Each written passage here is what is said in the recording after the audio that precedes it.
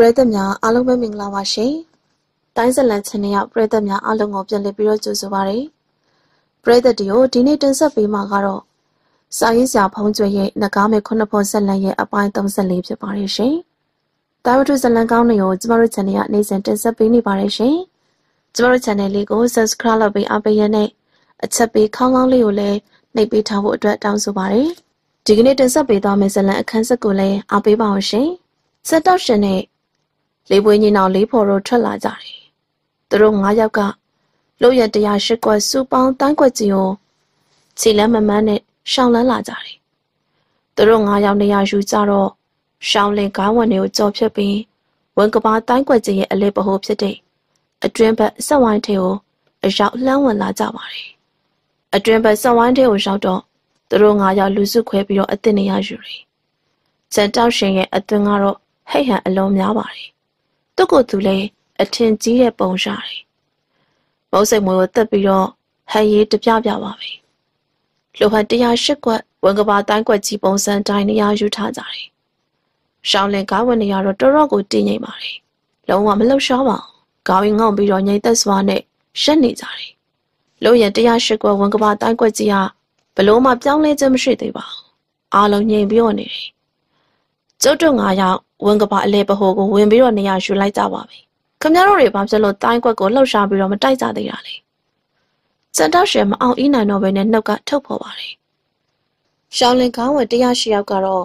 မလှုပ်ရှားကြဘဲနဲ့ဒီအတိုင်းပဲရှက်နေပါတယ်။ဘာမှတော့မပြောင်းလဲပါဘူး။စန်တောက်ရှယ်မျိုးမျိုးအော်ဟစ်ချင်းချောက်တယ်။ကျိန်းမောင်းရဲရွတ်တယ်။သူဘလောက်ပဲအော်ဟစ်အော်ဟစ်သူဘလောက်ပဲချင်းချောက်ချင်းချောက်ရှောင်းလင်ကောင်းဝယ်တရားရှိကငိမ့်သက်မြငိမ့်သက်နေတယ် ကျန်တော့ရှင်ဒေါသထွက်လာတယ်။ရှောင်းလင်ကောင်းဝင်နေရမလှုပ်ရှားပါဘူး။မိမိတို့ကစပြီးတော့လှုပ်ရှားရတော့မယ်လို့ဆုံးဖြတ်လာပါတယ်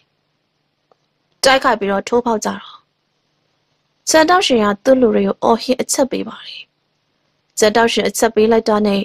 လေးပွေညီနောင်လေးဖော်တို့ချက်ချင်းပဲသူတို့ရဲ့အရှိဘက်ကိုကောင်းဝင်တွေကိုအတင်းဝင်ပြီးတော့ထိုးနဲ့တိုက်ကြတယ်။သူတို့တိုက်ချက်တည်းတကယ်ကိုကြမ်းတမ်းပြီးတော့ပြင်းထန်ပါတယ်။အဲ့ဒီအချိန်ကျတော့မှ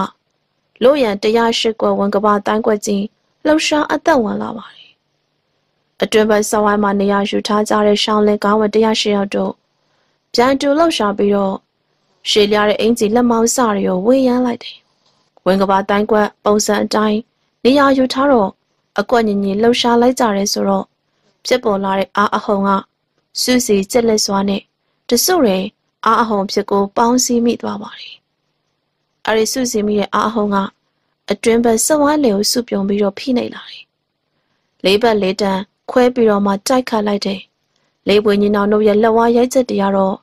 တယောက်နဲ့တယောက်အထောက်ကူပြုခြင်းမရှိပါဘူး။တတိတခြားစီပါပဲ။တတိတခြားစီရှိနေတဲ့လေးပွေညီနောင်တို့ရဲ့လက်ဝါးရိုက်ချက်တရားတပေါင်းတစီသေးသောအင်အားအဖြစ်ပေါင်းစီပြီးတော့သူတို့စီဝင်ရောက်လာတဲ့အင်အားတွေကိုတော့ရင်ဆိုင်ခြင်းမပြုတ်နိုင်ပါဘူး။တမဟုတ်ချင်းမှာပဲပြက်ပြဲသွားတယ်။ အဲ့ဒါတမကပါဘူးလေးပွေညီနောင်တို့လေးယောက်စလုံးကစူစီကျက်လက်စွာနဲ့ပေါင်းစည်းပြီးဝင်လာတဲ့အားအဟုန်ကြီးရဲ့တန်းကြောင့်တရားအတီးတီးရကုန်ကြတယ်။လေးပွေညီနောင်တို့တရားရပြီးတော့လဲကြပြီးတိုက်ခိုက်မှုရက်တော်ရနေလို့ရန်တရားရှိကွယ်ဝန်ကဘာတိုင်းကွက်ကြီးပြန်လေပြီးတော့ငြိမ်သက်သွားတယ်။ဆိုစွာလှုပ်ရှားတိုက်ခိုက်လိုက်ကြတဲ့အတွင်းဆက်ဝိုင်းကရှောင်းလင်ကားဝယ်၁၈ရောက်တို့ခေါင်းငုံပြီးတော့ငြိမ်သက်စွာရက်ကြတယ်။အဲဒီဖြစ်ပျက်တရားမျက်စိတမိတ် လက်တစ်ပြက်ဖြစ်တဲ့အချိန်ပိုင်းလေးအတွင်းမှာဖြစ်ပွားသွားတာဖြစ်ပါတယ်။ချန်တောင်ရှင်ကသူ့တပည့်လေးယောက်ကိုအကာအကွယ်ပေးဖို့အချိန်မရလိုက်ပါဘူး။ချန်တောင်ရှင်အကာအကွယ်ပေးဖို့လှုပ်လိုက်တဲ့အချိန်လေးပွေကြီးနောင်တို့တရားရပြီးတော့လဲကြကုန်တယ်။လို့ရတရားရှိကွက်ဝင်ကပါတိုင်းကွက်ကြီးကအများအနေနဲ့ညီညွတ်စွာနဲ့ပူးပေါင်းလို့လှောက်ရှာရတဲ့စုပေါင်းတိုင်းကွက်တစ်မျိုးပါပဲ။အတွင်းစဝိုင်းအတွင်းမှာ18ယောက်အလဲစဝိုင်းမှာ36ယောက် အပြင်ဆက်ဝိုင်းက54ယောက်ဆိုပြီးတော့အစင်စင်အင်အားစတိုးပွားသွားတယ်။ဒလုံးနဲ့ဆက်ဝိုင်းတန်း3ခုနေရာယူထားကြတဲ့သူတွေကလည်း6ယောက်ကိုတရေအစုလေးတွေနဲ့ဖွဲ့ထားကြပြန်ပါတယ်။6ယောက်စီပါတဲ့အတွဲ၄ပေါင်းကတော့ဆရွှဆွရှိတယ်။အဲ့ဒီအစုတစုမှာလူ6ယောက်တယောက်ကိုတယောက်အားပေးထောက်ကြွားတဲ့အပြင်အစုလေးတစုနဲ့တစုအပြန်လန်းအင်အားပူးပေါင်းမှုရှိပါသေးတယ် အဆုံးမှာတော့တိုက်ခါမှုကတိုင်းကွက်ကြီးတွေမှာပါဝင်တဲ့သူတရားရှိရလုံးရဲ့စုပေါင်းအားကိုတခါတည်းကြက်လက်စွာနဲ့စူးစီးတိုက်ခိုက်တာဖြစ်တော့အလွန်အားအင်ပြင်းထန်ပါတယ်။ရင်ဆိုင်မှုအလွန်ခက်တဲ့စုပေါင်းတိုင်ခွဲပုံစံဖြစ်ပါတယ်။ချက်တောက်ရှင်နဲ့သူ့တပိတ်လေးပွေညီနောင်လေးဖော်တို့ပြင်းထန်လာတဲ့အားအင်နေနဲ့လင်မြန်လာတဲ့အရှိန်ဟုန်တွေကိုပူးပေါင်းပြီးတော့တိုက်ခိုက်မှုမှာနမိတ်ရတဲ့သူတွေဖြစ်ပါတယ်။အဲ့ဒီလိုအရေးချင်းမျိုးအားကိုးနဲ့ လို့ရန်108ကွက်ဝန်ကပါတိုင်းကွက်ကြီးကိုရင်ဆိုင်မှုထွက်လာကြတယ်။ချက်တောက်ရှင်နဲ့သူ့တပိတ်လေးပွေညီနောင်လေးဖော်တို့စွမ်းရည်မသေးပါဘူး။ဒါပေမဲ့မိမိကိုယ်ကိုမိမိတို့အထင်ကြီးလွန်ပြီးတော့တစ်ဖက်လူကိုအထင်သေးတော့တိုက်ခတ်မှုအစားမှာဟိတ်ဟန်နေပေါ့ပေါ့ဆဆလုံးမိတာကြောင့်လေးပွေညီနောက်လေးပေါ်တို့တန်းရအနာတရားဖြစ်ကုန်ပါတယ်။ချန်တောက်ရှင်အဆက်ကြီးရှက်ပြီးတော့ဒေါသလည်းအထွက်ကြီးထွက်တယ်။ချန်တောက်ရှင်ကအရေးပေါ်အသက်ခေ တန်းကြီးစီကိုထုတ်ပြီးတပည့်လေးယောက်တို့ရဲ့ပါစက်ထဲကိုထည့်လို့တိုက်ဆွေးပါတယ်။စေးအာနေတဲ့အမြန်ဆုံးပြတ်နှံသွားအောင်လေအကျုံးတွေကိုဖိနှိပ်ပြီ။လေးပွေလေးဖော်တို့ဒဏ်ရာအနှဲငယ်တက်တာပြီးတော့အသက်ရှူပြန်ကောင်းလာတာနဲ့ချန်တောက်ရှင်စက္ကနဲ့မတ်တက်ရက်တယ်။ရှောင်းလင်ကိုင်းသားတွေကြုတ်ကြောင်အခုသိစေရမယ်။ချန်တောက်ရှင်ဒေါသတကြီးအော်ဟစ်ကျင်းသွားပါတယ်။အနောက်ဘက်မှာနေရာယူထားတဲ့ရှောင်းလင်ကိုင်းဝန်တိုင်းသမား၃ယောက်ထံကို ပြင်းထန်လာတဲ့လဝါရိုက်ချက်တစ်ချက်ရိုက်ထုတ်လိုက်တယ်။လဝါရိုက်ချက်အရှိတ်အဟုန်ပြင်းထန်ပါတယ်။ချန်တောက်ရှင်ကလဝါရိုက်ချက်ရိုက်ထုတ်လိုက်တာနဲ့ချန်တောက်ရှင်ဦးတီတိုက်ခိုက်တဲ့သူက၃ယောက်ပါဝင်ပြီးတော့၆ယောက်တစုပြိုင်တူလက်ဝါရိုက်ချက်တီရိုက်ထုတ်ပြီးတော့တုံ့ပြန်ပါတယ်။အတွင်းဘက်ဆက်ဝိုင်းမှာရှိတဲ့ကြံရှောင်းလင်ကိုင်းသား၁၂ယောက်ကတော့လက်ဝါတွေကိုရိုက်ထုတ်ပြီးအဲ့ဒီလူတွေကိုအားဖြည့်ကူညီပါတယ်။မိမိရိုက်ထုတ်လိုက်တဲ့လက်ဝါရိုက်ချက်တီနဲ့ တူညီတဲ့အားဟုန်တုံ့ပြန်မှုတွေကိုကြက်တောက်ရှင်ရင်ဆိုင်လိုက်ရပါတယ်။ကြက်တောက်ရှင်ဒေါသပိုးဖြစ်တယ်။ကြက်တောက်ရှင်ကတော့အော်ဟစ်မှန်သွင်းပြီးရဲ့နောက်မှာအရှိနောက်တောင်မြောက်အရွှေလေးမျက်နှာကိုလက်ဝါးရိုက်ချက်လေးချက်ကိုတွက်လက်စွာနဲ့တစ်ချက်ပြီးတစ်ချက်လှည့်ပတ်ရိုက်ထုတ်လိုက်တယ်။ကိုကိုတပတ်လှည့်ပြီးတော့အရွှေလေးမျက်နှာကိုလက်ဝါးရိုက်ချက်လေးချက်စက်တိုင်ရိုက်ထုတ်လိုက်နိုင်တာကတာမန်တိုက်ချက်တော့မဟုတ်ပါဘူး။ ချန်တောင်ရှန်မန်းထောင်မဲဆိုရင်မန်းထောင်နိုင်လောက်အောင်လို့အစစ်မြစ်နဲ့တိုင်းဟန်ပါပဲ။ဒါပေမဲ့အတွင်းဘက်စဝိုင်းရှိအောင်တော့ရှောင်းလင်ကိုင်းဝင်၁၈ယောက်နဲ့အလဲစဝိုင်းမှာရှိတဲ့ရှောင်းလင်ကိုင်းဝင်36ယောက်တို့ပြိုင်တူအကွက်ညင်ကြီးလှုပ်ရှားလို့လေးပတ်လေးတက်လုံးကချမ်းထောက်ရှင်ရဲ့လဝါရိုက်ချက်တွေကိုတဟုန်ထိုးတုံ့ပြန်ခုခံပါတယ်။ချမ်းထောက်ရှင်ရဲ့လဝါရိုက်ချက်တရားတော့အစစ်မြင်ပဲမယ်။လူရတရားရှစ်ကွက်ဝန်ကဘာတိုင်းကွက်ကြီးကိုတော့ လှုပ်ရှားရိုက်ရိုက်သွားစေခြင်းမရှိပါဘူး။ရှောင်းလင်ကောင်းဝဲတရားကိုမှတန်ရအနာတရားဖြစ်အောင်လို့မလုပ်နိုင်ခဲ့ပါဘူး။ရှောင်းလင်ခိုင်းသားရဲ့အရေးချင်းကိုတွေ့တော့ချမ်းတောက်ရှင်အကင်းပါတယ်။တစွတ်ထိုးလှုပ်တတ်တဲ့သူတော့မဟုတ်ပါဘူးအချင်းနဲ့သူသုံးသက်ပြီးတော့နားလည်နိုင်တယ်။အခုမိမိရင်ဆိုင်နေရတဲ့လူရတရားရှစ်ကွက်ဝန်ကဘာတိုင်းကွက်ကြီးဟာတာမဝန်ကဘာသဘောမျိုးမဟုတ်ဘူးဆိုတာစန်တောက်ရှင်တွေးမိတယ်။စန်တောက်ရှင်အနေနဲ့ညံကိုအသုံးပြုမှဖြစ်မယ်။ အင်အားကိုအသုံးချပြီးတော့ကြမ်းကြမ်းရရန်တိုက်ခတ်မယ်ဆိုရင်တစ်ဖက်လိုစိတ်ကြိုက်ဖြစ်မယ်။စန်တောက်ရှင်ကတိုက်ကွက်ပရိယေတွေကိုပြောင်းလိုက်ပါတယ်။တွက်လက်မြန်ဆန်စွာလှုပ်ရှားပြီးတော့ဟိုဘက်ကဝင်လိုက်ဒီဘက်ကတိုးလိုက်နေ။ဆွဲရောင်ပြတိုက်ကွက်တွေဆင်ဖို့လို့ရတရားရှိကွက်ဝန်ကဘာတိုင်းကွက်ကြီးရဲ့လှုပ်ရှားပုံတွေကိုစူးစမ်းနေဒါပေမဲ့ချမ်းတော့ရှင်မျောလင့်ထားတဲ့အတိုင်းဖြစ်မလာပါဘူးရှက်တော့ရှင်ဟာဆွဲရောင်ပြလှုပ်ရှားမှုတိုက်ခိုက်မှုတွေကို ဘလို့ပဲလှုပ်လှုပ်လို့ရတရားရှိကွက်ဝန်ကဘာတိုင်းကွက်ကြီးကဘလို့မှမလှုပ်ရှားပါဘူးငြိမ်သက်မြဲပါပဲလို့ရတရားရှိကွက်ဝန်ကဘာတိုင်းကွက်ကြီးမှာပါဝင်နေရယူထားကြတဲ့ရှောင်းလင်ကောင်းဝင်နေရခေါင်းကိုငုံထားတယ်ဘာမှမပြောင်းလဲပါဘာမှလည်းမလှုပ်ရှားပါဘူးအဲ့ဒီလူတွေရောဝန်ကဘာတိုင်းကွက်နဲ့နေရာယူထားပါတယ်စစ်တောက်ရှင်အကြက်ရိုက်ပါတယ်စစ်တောက်ရှင်အတွက်ကကြားပေါ်ကိုတက်ခွစီးမိထားတယ်လို့ဖြစ်နေပါတယ် လိုဝဲဖြစ်ဖြစ်နောက်ကဆုပ်လို့တော့မရတော့ပါဘူးလိုရန်တရားရှိကဝန်ကဘာတိုင်းကွက်ကြီးကိုရှားတဲ့အနေနဲ့ထိုးပေါက်ထွက်ရတော့မယ်စစ်တောက်ရှင်ကနီးလဲအမျိုးမျိုးစဉ်းစားတယ်စတင်စဉ်းစားရရှိတဲ့နီးလဲတွေကိုသုံးစီတယ်တခုမှမအောင်မြင်ပါဘူးနောက်ဆုံးမှာတော့ချန်တောက်ရှင်ကအစိတ်လောင်ပြီးလက်နှစ်ပုံကိုအသုံးပြုဖို့ဆုံးဖြတ်လိုက်ပါတယ်အခုလိုရှင်ပြိုင်မှုမျိုးမှာတော့အစိတ်လက်နက်တွေကိုအသုံးပြုဖို့ခွင့်ပြုချက်မရှိပါဘူး ချန်တောက်ရှင်အလွန်ရှက်ပြီးတော့အလွန်ဒေါသဖြစ်တယ်တာလောက်ကရဲ့အစင်လာစီကန်းတွေကိုမဆောင်ထိန်နိုင်တော့ဘဲနေအစိတ်လောင်ပြီးလက်နက်ပုံကိုအသုံးပြုလို့ရှင်ဆိုင်လိုက်ခြင်းဖြစ်ပါတယ်ချန်တောက်ရှင်ကတော့အစိတ်လောင်ပြီးလက်နက်ပုံကိုထုတ်လိုက်တယ်အဲ့ဒီနောက်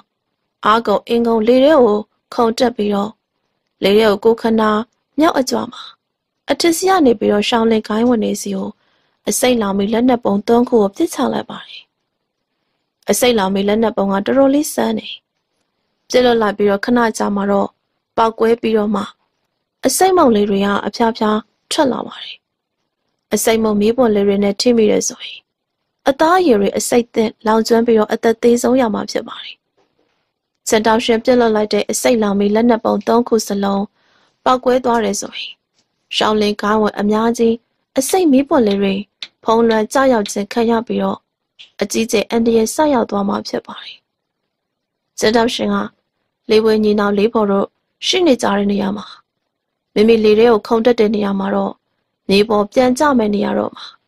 အစိမ်မီးပွင့်နေမကြရောက်ဘဲနဲ့ကင်းလွတ်စေဖို့တည်တည်ချာချာတွက်ဆပြီးတော့ပြစ်ခတ်လိုက်တာဖြစ်ပါတယ်။ဒီလိုနဲ့ရှောင်းလင်ကိုင်းသားတွေကအန်တရကြရောက်ပြီးတော့သူတို့ဆရာတပည့်၅ယောက်ကတော့အန်တရစက်ကွင်ကလွတ်နိုင်ပါမယ်။ ဒါပေမဲ့သူထင်တယ်လို့ဖြစ်မလာပါဘူး။အချင်းတွေကစန်တောင်းရှင်းထင်တယ်လို့ဖြစ်မလာခဲ့ပါဘူး။ဝီကနေလေးခွန်းတန်၃ချက်ပေါ်လာပါတယ်။ကဲလုံးလေးလုံးကတော့လွင့်ပြန်လျှောက်လာတယ်။ကဲလုံးလေးတွေကစန်တောင်းရှင်းပြက်လွတ်လိုက်တဲ့အစိတ်လောင်မီလက်နက်ပုံ၃ခုကိုပုတ်ကတီးကထိမိပါတယ်။အစိတ်လောင်မီလက်နက်ပုံတွေကအဲဒီကဲလုံးလေးတွေကိုထိခိုက်မှုကြောင့်လမ်းကြောင်းပြောင်းသွားတယ်။လမ်းကြောင်းသာမဟုတ်ပါဘူး။အရှိန်လည်းပြောင်းသွားတယ်ပို့ပြီးတော့မြန်ဆန်သွားတယ်။ အဲ့ဒီနေရာမှာတော့စံတောက်ရှင်ကလေရဲကိုခုန်တက်တဲ့နေရာမှာအောက်ကိုပြန်ကျပြီးတော့မြေပြမှာခြေချရက်လွတ်လွတ်ဖြစ်နေပါတယ်။မိမိပြစ်လွတ်လိုက်တဲ့အစိတ်လောက်မီလက်နက်ပုံတွေရဲ့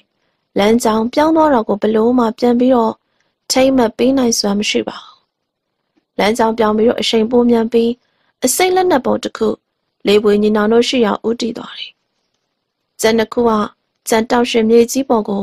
ခြေချရက်မိမဲ့နေရာကိုတန်းဝင်လာပါတယ်။ စံတောက်ရှိအကြီးကျယ်ထိတ်လန့်သွားတယ်။အဲဒီမှာတော့အစိတ်လာမီလက်နက်ပုံသုံးခုလုံးပောက်ကွဲသွားပါတယ်။အနီးပောက်ကွဲတဲ့အတန်တွေကြောင့်အစိတ်မီပေါ်တွေကလည်းနေရာကျကျကိုပြန့်ပြီးတော့မသွားဘူးဆိုတာသိရတယ်။လေးပွေညီနောင်လေးဖော်တို့ရဲ့ကိုပေါ်မှာတော့စံတောက်ရှင်းရဲ့ကိုပေါ်တွေကိုစုပုံပြီးတော့ကြာရောက်လာတယ်။အဲဒီလိုနဲ့စံတောက်ရှင်းရဲ့တပိတ်လေးပွေညီနောင်လေးဖော်တို့ကိုရှုကိုပတ်ဆိုသလိုမိမိတို့လက်နက်နဲ့မိမိတို့ပြန်ပြီးတော့ ထိခိုက်မိလို့မိုက်ဆက်သိမ်းကုန်ပါတယ်။အဲဒီလိုအခြေအနေမျိုးဖြစ်ပေါ်လာတာကတော့ခွန်းလွန်ကားဝတ်နေအတွက်လုံးဝမထင်ထားတဲ့အခြေအနေပါပဲ။ခွန်းလွန်ကားဝတ်နေရပထမအရန်ကိုထိတ်လက်အံ့ဩပြီးတော့ကြက်သေးသေးကြတယ်။ခဏကြာတော့တတိပြန်ဝင်ပြီးတော့ကြည့်တော့တယောက်တစ်ပေါက်အမျိုးမျိုးပြောဆိုကုန်ပါတယ်။အခုပွဲကြီးကပြောင်းစင်ခေါ်ပြီးတော့တိုက်ရမယ်ပွဲပဲ။ကျွန်တော်တိုက်ပွဲမှာအစိတ်လက်နက်ပုံနဲ့လုံးဝမသုံးရဘူးဆိုတော့အားလုံးသိတယ်။ကျန်တောက်ရှင်က အစိတ်လက်နက်ပုံ၃ရုံမကောင်း။ရှောင်းလင်ကားဝယ်အများပြားထိခိုက်သေးစေသွားအောင်လို့အကြံရိုင်းလေးကြံတယ်။အဲဒါကြောင့်ကျမတို့ကတက်သိလူကြီးရဲ့ဝတ္တရားတိုင်းဝင်ပြီးတော့စွတ်ဖက်ဟန်တားရတာပဲ။အခုတော့ချန်တောက်ရှင်တို့ကိုယ့်ပြစ်ကိုခံသွားရပြီ။ဒီပြိုင်ပွဲမှာရှောင်းလင်ကအလံရတယ်။တောင်းရှောင်းဖုံရဲ့ကြည်လင်တဲ့အတန်ကခွန်လော်ကားဝက်နေကိုတယောက်တစ်ပေါက်ပြောဆိုနေတဲ့အတန်တွေကိုလွှမ်းမိုးသွားပါတယ်။ချက်တောက်ရှင်ရဲ့အစိတ်လောင်ပြီးလက်နက်ပုံသုံးခုကို လမ်းကြောင်ပြောင်းလဲသွားလို့ခဲလုံးလေးတွေနဲ့အချိန်စာမှန်မှန်လှမ်းပြီးတော့ပြစ်ခတ်နိုင်ကြတဲ့သူတွေကထောက်ဆောင်ဖုန်းနဲ့ဟောက်ချင်းချင်းတို့ပါပဲ။ဟောက်ချင်းချင်းကတော့လမ်းလွဲတိုင်းသမားစိုးတွေကြားထဲမှာကျင်လည်ပြီးတော့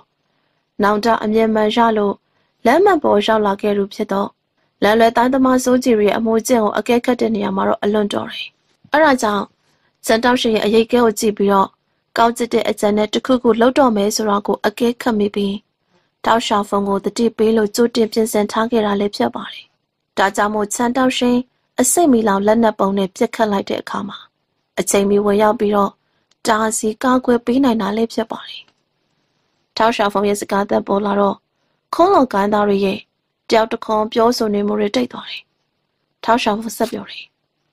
အခုတတိယရွှေပြမှုကိုဆက်လက်ပြုလုပ်ပါမယ်။ရှောင်းလက်ကားရဲ့လူရတရားရှစ်ကွက်ဝန်ကဘာတိုင်းကွက်ကြီးပြန်ပြီးတော့ ရှုပ်သိမ်းနိုင်ပါပြီ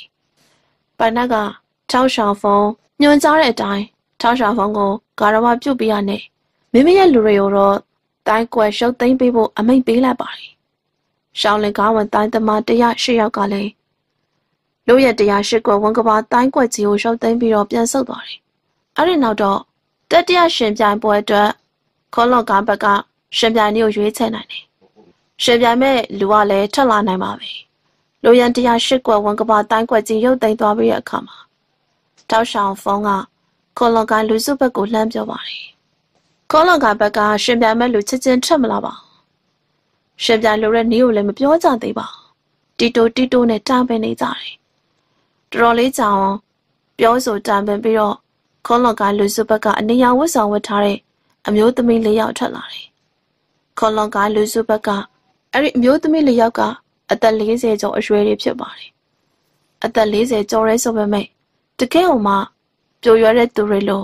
ဝတ်စားပြင်ဆင်ထားတယ်ကျမတို့ကအာရှိလူကိုင်းရဲ့လက်ပြနေညီအမလေးဖို့ပါခေါလွန်ကိုင်းဘက်ကနေပါဝင်တိုက်ခိုက်ဖို့ထွက်လာတာပါကောင်းဆောင်ပြန်တူရဲ့အမျိုးသမီးတယောက်ကပြောလိုက်ပါတယ်အာရှိလူကရဲ့လက်ပြညီမလေးဖို့ဆိုတာစကားတန်ကိုကြားလိုက်ရုံပဲရှိပါသေးတယ် ရှောင်းလေကိုင်းသားတွေလှလှရှာရှာဖြစ်ကုန်တယ်တောက်ရှောင်းဖုန်းနဲ့ဟောက်ကျင်ကျင်တို့နှစ်ယောက်ပဲလင်းတယောက်မျက်နှာတယောက်ကြည့်လိုက်ကြတယ်အာရှိလူကရဲ့ဒူချာစမ်းပြတဲ့အစက်မြတ်သားပညာရဲ့အကြောင်းကိုတော့တာလောကတခုလုံးမသိရသူမရှိပါဘူးလက်ပြနေညီမလေးဖို့ဆိုတာက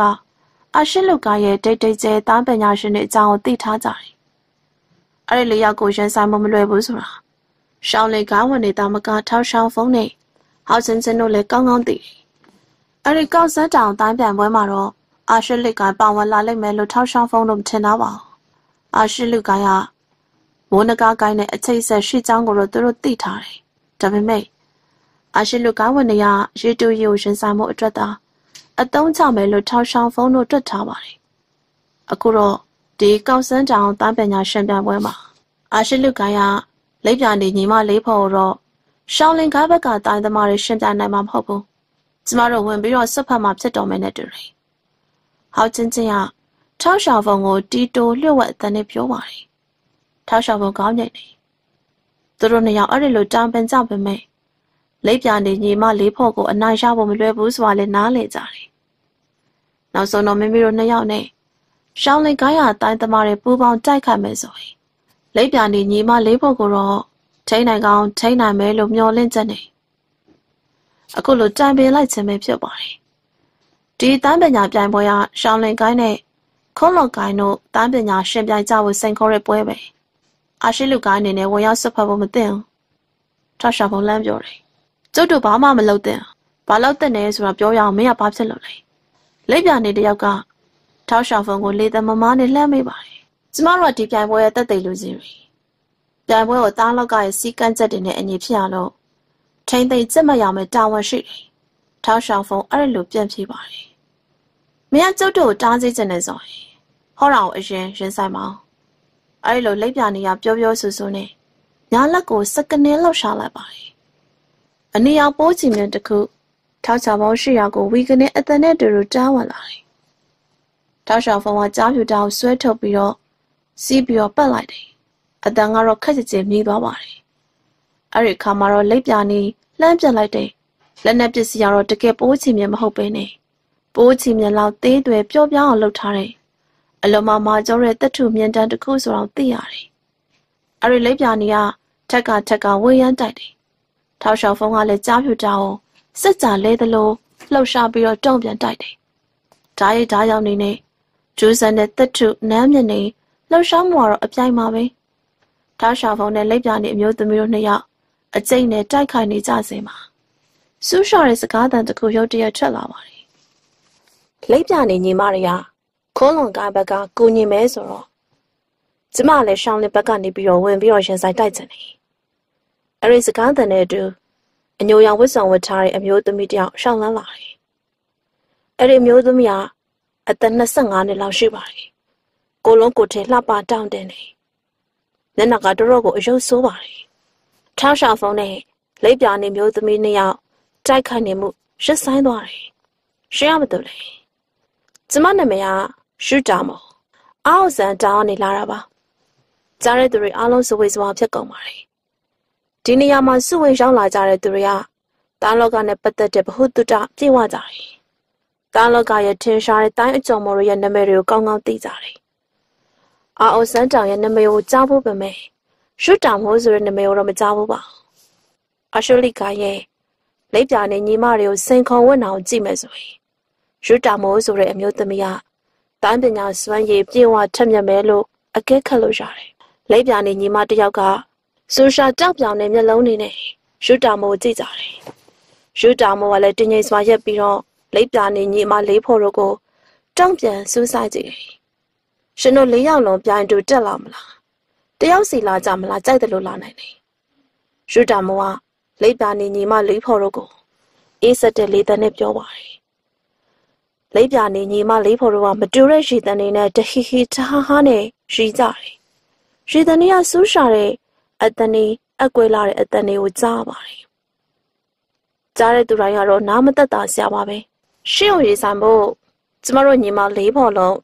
ထွက်တိုက်နေစရာမလိုပါဘူး။ကျမရေဝမ်းရှာတယောက်တည်းနဲ့လုံလောက်တယ်။လိပ်ပြာနေညီမလေးယောက်ထဲကမျက်နှာဝိုင်းဝိုင်းအသားဖြူဖြူနဲ့အမျိုးသမီးပြောတယ်။ရီဝမ်ရှားဆိုတဲ့အမျိုးသမီးက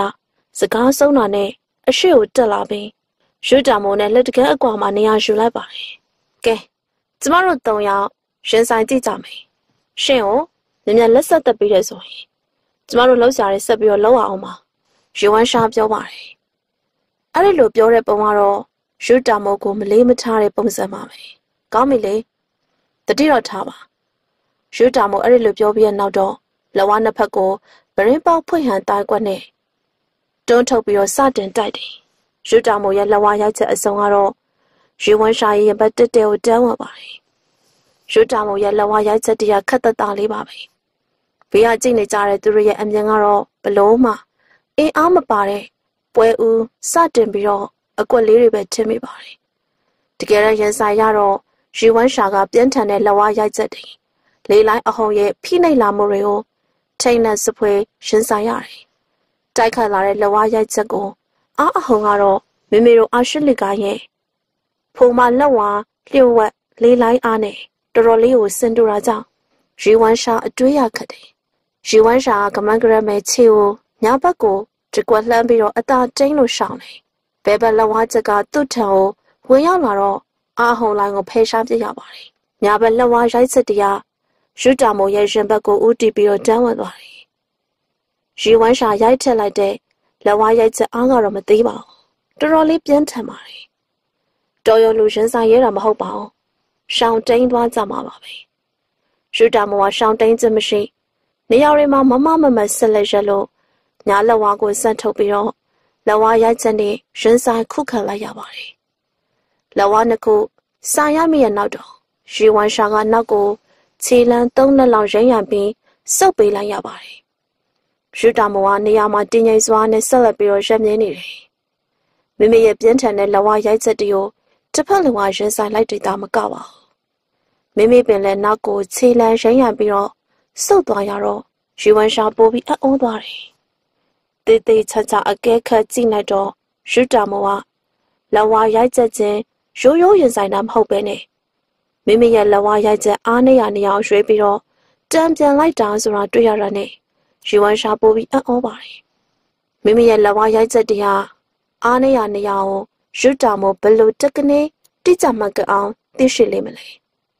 ယူဝမ်ရှာအဖြေရှာလို့မရပါဘူးအဲ့ဒီတိုင်းကွက်တကွက်ထဲနဲ့ရွတ်တာမို့အသာစင်းရသွားပါတယ် ရွတ်တာမို့ကအဲ့ဒီအခွင့်အရေးကိုလက်လွတ်မခံပါဘူး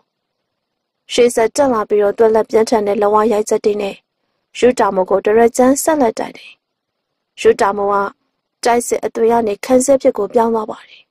။ယူတာမိုရဲ့တွက်လက်မြန်စတဲ့လဝါရိုက်ချက်တွေကိုအသေးအလဲခုခံနေရတယ်။အဲဒီလိုခုခံနေရင်းနဲ့အစင်မြေကိုဖို့ပညာကိုသုံးလို့ယူတာမိုကိုအလစ်ဖန်းတံပြန်တိုက်ခိုက်နိုင်မဲ့အခွင့်အလမ်းကိုရှာတယ်။ ဘလောက်ပဲစူးစမ်းစူးစမ်းရေဝမ်းရှာယူတာမိုရဲ့ဟာကွက်လွတ်ကွက်တွေကိုရှာလို့မရအောင်ရှိတယ်။ရေဝမ်းရှာရဲ့နေရာပြောင်းလဲလှုပ်ရှားမှုတွေကရွတာမိုရဲ့ပိတ်ဆို့နှောက်ယှက်မှုတွေကိုရင်ဆိုင်နေရတယ်။မိမိရဲ့ခြေလမ်းကွက်တွေကိုရွတာမိုကြိုတင်သိနေတယ်လို့လို့ရေဝမ်းရှာရဲ့စိတ်ထဲထင်မိပါတယ်။ရေဝမ်းရှာကကိုဖော့ပညာကိုအစွမ်းကုန်သုံးလို့ကြေးလွာလှောက်ရှားနေရပြောင်းလဲလိုက်တယ်။ရေဝမ်းရှာရဲ့ကိုခန္ဓာကတော့ လေးပွေလိုမြန်ဆန်ပြီးတော့လှောက်ရှားတယ်။သူ့ရဲ့အနေရောက်အင်ဂျီစာကတော့လေးမှာတလွန့်လွန့်ဖြစ်နေပါတယ်ကျင့်မရတာကတော်တော်ကိုလှတယ်။ရူတာမဝါရေဝမ်းရှာမျက်ရည်မြန်သလောက်တွက်ရန်တွက်သလောက်တန်းတူလိုက်လံလှုပ်ရှားတိုက်ခိုက်နိုင်တယ်။အညိုရောင်အရိပ်နဲ့အနီရောင်အလင်းတန်းတွေကစက်ကြလဲသလိုခြာကနေလဲပတ်နေပါတယ်။ဂျီဝမ်ရှာကဒေလွာလှုပ်ရှားနေရင်ကနေဇူရှာအကွဲတဲ့ရေတံပြုတ်လို့ယူတာမို စိတ်တုံလုံးချောင်းချောင်းအောင်လို့လှုပ်တယ်။ယူတာမိုကစိတ်အလွန်တည်ငြိမ်ပါတယ်။ရေဝမ်းရှာရဲ့ဇူရှာအကွဲတဲ့ရေတံမျိုးစုံတို့ကယူတာမိုကိုဘလို့မှစိတ်ချောက်ချောင်းအောင်လို့လှုပ်ဆောင်နိုင်ခြင်းမရှိပါဘူး။အချိန်တရွေ့ရွေ့ကုန်သွားပါတယ်။နိုင်ဝက်ခန့်လောက်အချိန်ကြာမြင့်နေ။တိုင်းကွက်ပေါင်ရှားချပြီးတော့အပြန်လန်းအသုံးပြုတိုက်ခိုက်ကြတယ်။အနိုင်အရှုံးပြပြတတအချိန်မပေါ်သေးပါဘူး။ရွှန်ရှာရဲ့စိတ်ထဲမှာတော့ မိမိအရေးနှိမ့်နေပြီဆိုတာကိုနားလည်လိုက်တယ်။ယူတာမဝရေဝမ်းရှာရဲ့လှုပ်ရှားပုံတိုင်းကွက်စင်ပုံအဆတ်ဆအရာရာတွေကိုသိရှိပြီးတော့အုပ်စီးထားနိုင်ပါတယ်။ရေဝမ်းရှာတိုင်းကွက်တစ်ခုဆင်ပြီးတော့တိုက်ခတ်လိုက်တာနဲ့အဲ့ဒီတိုင်းကွက်အကွက်ပြမထုတ်သုံးနိုင်သေးခင်မှာယူတာမဝကာကွယ်ဖြစ်စည်းမှုကိုလှုပ်ချနေပြီဖြစ်ပါတယ်။ရေဝမ်းရှာအသုံးပြုတိုက်ခတ်လိုက်တဲ့တိုက်ကွက်တရားဘလို့မှအရှာမရောက်ပါဘူး။ရေဝမ်းရှာစိတ်လှုပ်ရှားတယ်။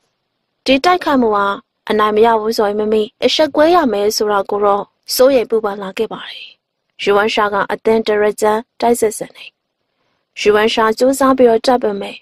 ယူတာမှုရဲ့တားစီတိုက်ခိုက်မှုတွေကိုမကြောနိုင်ပါဘူး။နောက်ဆုံးတော့ယူဝမ်ရှာမမိုက်ကန်ကန်ယူတာမှုနဲ့လက်ဝါရိုက်ချက်အရိုက်ခံပြီးတော့လက်ဝါကိုမခွာဘဲနဲ့အတင်းဖိတွန်းလို့အာကျင်ပြိုင်မာတော့တယ်။နှစ်ယောက်သာလှူရှားတိုက်ခတ်မှုတွေကိုရှက်လိုက်တယ်။ လက်ထဲမှာပူကတ်ထားတဲ့တယောက်နဲ့တယောက်အတွင်းအားချင်းပြိုင်ကြတဲ့အခြေအနေကိုရှောက်သွားတယ်။ယူဝမ်ရှာက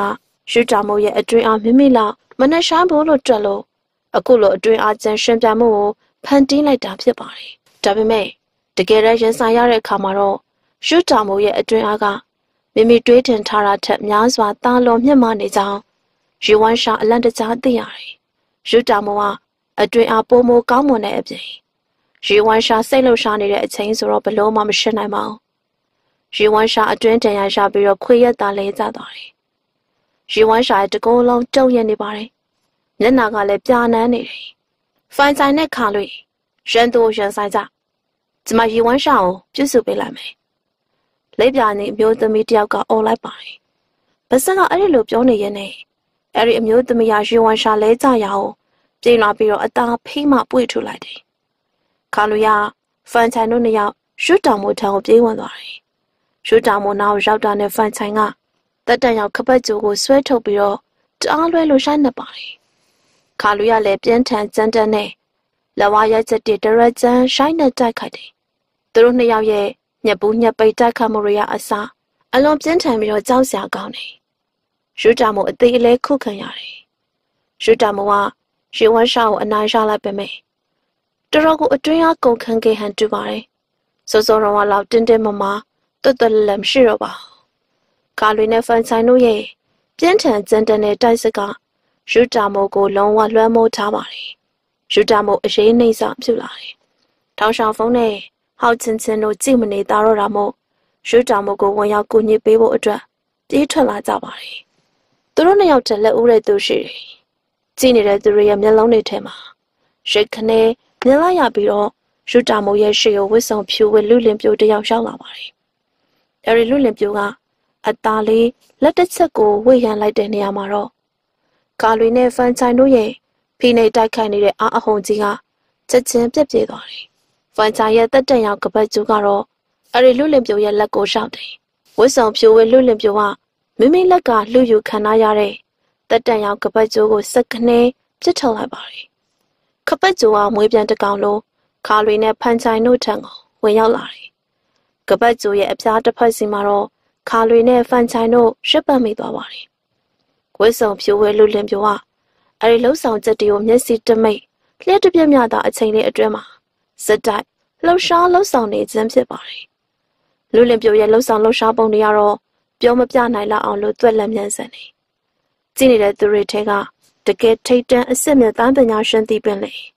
လူလင်ပြိုရဲ့လှုပ်ရှားမှုတွေကိုရိုးကနေရိတ်ကနေတွေ့ရပါတယ်။အများစုကတော့လူလင်ပြိုဘလို့လှုပ်လိုက်တလဲဆိုတာကိုမတွေ့ရပါဘူး။ခါလွေနဲ့ဖန်ဆိုင်တို့နှစ်ယောက်ကတော့တက်တက်ရောက်ကပတ်ကျိုးနဲ့တစ်ဖက်စီနဲ့ရက်ပတ်ခံလိုက်ရတယ်ဆိုတော့တွေ့မြင်ရပြီးအရန်အံ့ဩနေကြတယ်။လှုပ်ရှားမှုတွေရက်သွားတော့ဝတ်ဆောင်ဖြိုဝဲလွတ်လင်ပြိုကို တွေ့မြင်သွားကြပါတယ်။ဟောမောင်လေးရှိတူရပါလား။ ထောက်ရှာဖုန်းနဲ့ဟောက်ချင်ချင်တို့နှစ်ယောက်အားရဝမ်းသာစွာနဲ့ပြိုင်တူអော်လိုက်ကြတယ်။ရောက်လာတဲ့သူကနတ်ပလွေသားလွတ်လင်ရှိတူရှိပဲဖြစ်ပါတယ်။ရှိတူရဲ့ကောင်းစမ်းကြောင်ပေါ်ရောက်လာတယ်။ရောက်လာတာနဲ့ရူတာမုံနဲ့မျက်နှာပေါ်မှာရုပ်ဖြက်ပြုတ်ပြင်ထားတာကိုပွတ်တိုက်ဖယ်ရှားပြလိုက်ပါတယ်။အယုံဆူဆူမျက်နှာမရှိတော့ပါဘူး။မျက်လဲပြလိုက်တယ်လို့ချောမောလာတဲ့ပင်ကိုမျက်နှာပေါ်လာပါတယ်။ဒါကျွန်တော်ရဲ့သွေးသားမှာယွင်ချီပါ။ သူတို့တွေကတော့ကျွန်တော်နဲ့စိတ်ဆက်ကြောင်းလန့်ထားတဲ့ထောက်ရှောင်ဖုန်းနဲ့ဟောက်ချင်းချင်းတို့ပါပဲ။ထောက်ရှောင်ဖုန်းကနေပြီးတော့အတိမပြူတာဝန်ပေးထားတဲ့အရှိပင်လက်ကံယူရန်ဒေတာအဖွဲ့ခေါင်းဆောင်မှာရွှေတူရမိတ်ဆက်ပေးလိုက်တယ်။ရွတာမိုးဆိုတဲ့သူကရုပ်ဖြက်အယောင်ဆောင်ထားတဲ့ရွှင်ချီပါပဲ။ရွှင်ချီရဒေါ်မကျူနဲ့တူတူထုံဖူးမျိုးကိုရှောင်းလာပြီးတော့နှစ်ပေါင်းများစွာကွဲကွာနေတဲ့မိဘနှစ်ပါးထံကိုတွေးဆောင်ကြော့ပါတယ်။ဟာကိုယူရဲ့စိတ်နဲ့သဘောထားတွေကို အကဲခတ်သိရှိထားတော့ရှင်ချီကဟာကိုယူနဲ့လုံမကျူတို့ကိုစိတ်ဆက်ပေးဖို့အောင်သွေးအနေနဲ့ဆောင်ရွက်လုပ်ကိုင်ပါတယ်။အဲ့ဒီလိုနဲ့လုံမကျူကရှင်ချီနဲ့တာမကပါဘူး။ဟန်ကိုယူနဲ့ပါစိတ်ဆက်ကြောင်းလန့်မှုပြုလုပ်တယ်။အဲ့ဒီနောက်တော့ခိုင်ဖုံးမျိုးပြန်လာတယ်ရစ်တူကြီးကရင်ချင်းရီကိုကောင်းဆန်တောင်ပေါ်ကိုရုပ်ဖြတ်လို့တွားရောက်ပြီးလိုအပ်မဲဆိုရင်တော့ထောက်ဆောင်ဖုန်းတို့ကိုဝဲရောက်ကူညီပေးဖို့ လျှို့ဝှက်စာရေးသားထားတာဖြစ်ပါတယ်။ရစ်တူရဲ့လျှို့ဝှက်စာတွေအရရင်ချင်းရီကောင်းဆန်တောင်ကိုရုပ်ဖြတ်လို့ရောက်လာတယ်။လက်ပြနေညီမတွေနဲ့ရင်ဆိုင်တိုက်ခိုက်တယ်။ရင်ချင်းရာအာရှလီဂိုင်းဝဲဟောင်းဖြစ်တော့အာရှလီကရဲ့တားပညာတွေကိုကောင်းကောင်းတက်တယ်။ရစ်တူရာရှောင်းလင်ကိုင်းဌာနချုပ်ကိုအလစ်ဝင်ရောက်တိုက်ခိုက်ဖျက်ဆီးဖို့လာကြတယ်။အာရှလီကိုင်းချုပ်စီခွန်းလန်တို့အုပ်စုကိုတားဆီးပေးရနောက်မှာ ကောက်ဆန်တောင်ပေါ်ကိုတက်လာခဲ့တာပဲဖြစ်ပါတယ်။တိုင်းပညာရှင်များမကစတင်တဲ့အချိန်မှာတော့ရေတူရီတို့လူစုတောင်ပေါ်ရောက်လာတယ်။ဒါပေမဲ့လူရောင်မပြသေးပဲနဲ့အသာပုံအောင်ပြီးတော့အခြေအနေကိုစောင့်ကြည့်တယ်။ယခုရင်ချီအကျဉ်းချက်ကြုံတွေ့နေရတာကရစ်တူရစ်ထွက်လာပြီးတော့ဝင်ရောက်အကောက်ကွယ်ပေးခဲ့တာဖြစ်ပါတယ်။ဇန်နတူရီယာဆက်လက်ပေါအောင်ပြီးတော့ကျန်နေခဲ့တယ်။ရစ်တူရရောက်လာပြီးဆိုတော့ရွှင်ချီရီလည်း ဆက်လက်ပြီးတော့ဟန်ဆောင်မနေတော့ဘဲနဲ့ရုပ်ဖြတ်ထားတာတွေကိုဖယ်ရှားပစ်ခဲ့တာဖြစ်ပါတယ်။မောင်လေးရရောဒူးဆိုင်သမားတိုင်းသမားဆိုတွေကိုချိန်မုံနှိမ့်နေနေတဲ့တိုင်းသမားလူစွမ်းကောင်းတယောက်ဆိုပြီးတော့နေပြရောတာဝန်ပေးအသိမပြုတ်ထားတယ်မလား။ထောက်ဆောင်ဖုံပြုံးရင်ပြန်ပြောတယ်ခမများတို့လေယောက်အေးအေးဆေးဆေးပဲပြန်သွားကြပါရှောင်းလင်ကိုင်းဌာနချုပ်စခန်းကိုတော့အလစ်တိုက်ခိုက်ချိန်မမို့ကြံခဲ့တဲ့ကျွန်တော်တို့ကိုင်းချုပ်စီခွန်းလွင်အောင်ကျွန်တော်တို့ဟန်တားလိုက်လို့ နေရက်ကိုပြန်သွားပါပြီတရားရတဲ့သူတွေကိုတော့ဒီစေးကိုတိုက်ပါတက်တာသွားပါလိမ့်မယ်ရေတူကြီးကလိပ်ပြနေညီမလေးဖော်တို့ပြောလိုက်ပါတယ်အဲ့ဒီလိုပြောပြီးရနောက်တော့တိတ်တင်မြူတေးစေးလုံးတစ်လုံးကိုထုတ်ပြီးတော့လှမ်းပေးပါတယ်ခါလူရရေတူကြီးပေးတဲ့တိတ်တင်မြူတေးစေးလုံးကိုယူပြီးတော့ရေဝမ်းရှောင်တိုက်ကြွေးပါတယ်ခဏကြာမှတော့ရေဝမ်းရှာရဲ့မျက်နှာကသွေးရောင်တန်ပြီးအခြေအနေတော်တော်ကောင်းလာပါတယ်လက်ပြနေညီမတို့ကဘာမှမပြောတော့ဘဲနဲ့ တောင်အောက်ကိုဆင်းသွားပါတယ်အဲ့ဒီမှာတော့ရှန်ချောင်ရှန်ဟင်းရှင်းလေးရှာတော့နေအရှိပင်လဲညီနောင်တို့လူစုပုံအောင်နေရာကထွက်လာပါတယ်အရှိပင်လဲညီနောင်တို့လူစုကတော့ခက်လက်လက်မှနေတယ်ရှန်ချုံတို့နဲ့ထောက်ဆောင်ဖုန်းတို့ကတယောက်ကိုတယောက်ပွေကဖက်ကနဲ့ရီမောနေကြပါတယ်။အဲ့ဒီလိုနဲ့အချိန်ကမနေတော့ပါ။နေလုံးကြီးကအနောက်ဘက်ကိုရွှန်းလွန်နေပါတော့တယ်။ပရိသတ်များရှင် ပရိသတ်တွေကိုအခုတင်ဆက်ပေးခဲ့တာကစာရေးဆရာဖုံးကျွေရဲ့ငကားမယ်ခုနှစ်ဖော်ဇက်လန်ရဲ့အပိုင်း34ဖြစ်ပါတယ်ရှင်။ကျမတို့ channel ကနေပရိသတ်တွေအတွက်ဇက်လန်ကောင်းလေးတွေကိုနေစဉ်တင်ဆက်ပေးလျက်ရှိပါတယ်။အပိနာစနေကြတဲ့ပရိသတ်များအားလုံးကိုကျေးဇူးထူးပဲတင်ရှိပါတယ်ရှင်။